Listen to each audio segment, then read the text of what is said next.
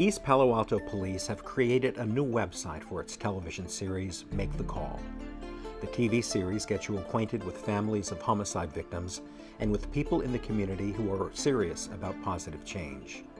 The website lets you watch our program, get vital information, and participate in new ways of solving crimes.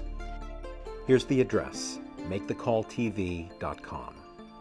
We want to show you some of the main features you'll find on the site.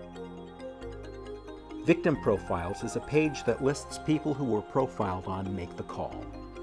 Click on a photo for profile information. Each victim profile page includes a television segment about them. MakeTheCallTV.com archives all of our television programs. The most recent episode can be viewed on the homepage. To see previous episodes, select the link Watch Our TV program.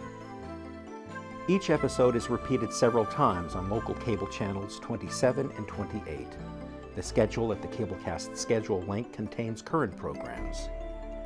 Another feature of our site is a link to a site called crimereports.com, the mapping website where visitors can see where crimes occurred. MakeTheCallTV.com links directly to East Palo Alto. The Crime Report site was demonstrated in Episode 2 of Make the Call. The reason Make the Call exists is to educate, inform, and encourage you to call with any information that might help us solve violent crimes in our community. It's easy to remember the phone number, and we provide it here on the homepage. There is a special tip number for anonymous texting from cell phones.